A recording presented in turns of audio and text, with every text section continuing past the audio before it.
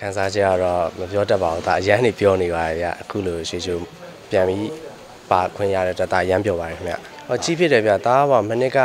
ဖေဖေနဲ့အတူအကယ်မီပြပွဲကြီးလည်းတက်ဖြစ်တယ်ဟုတ်အမအမလည်းကြီးဖြစ်တယ်ဗျဟုတ်စင်ဝန်တက်မှန်ခန်းစားကြတော့ကြောက်တော့မကြောက်ဘူးဒါမဲ့မြန်မာတပြည်လုံးကြီးရဲ့ပွဲကြီးဆိုတော့ရင်လဲခုန်တယ်အဲနောက်ပြီးပစိုးကြကြမှာလည်းကြောက်တယ်ဗျဒါပစိုးက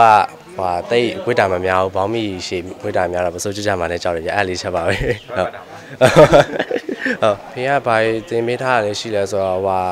ဒါစင်မင်းပေါ်မှာ confidence ရှိရှိနဲ့အကောင်းဆုံးဖြစ်အောင်ကြိုးစားပါလို့ပဲဒါအဲ့လေးတော့တင်ပေးထားရဗျကျွန်တော်ကတော့တိတ်ထွေထူးထူးတော့မရှိပါဘူးဟုတ်ဒါဟွာရွှေကြိုးပါပါဝင်ခွင့်ရပြီးတော့မင်းသားဖြစ်ရမယ်လို့လည်းအဲ့လိုကြီးလည်းမဟုတ်ပါဘူးခင်ဗျဘာဖြစ်လို့ဖေဖေက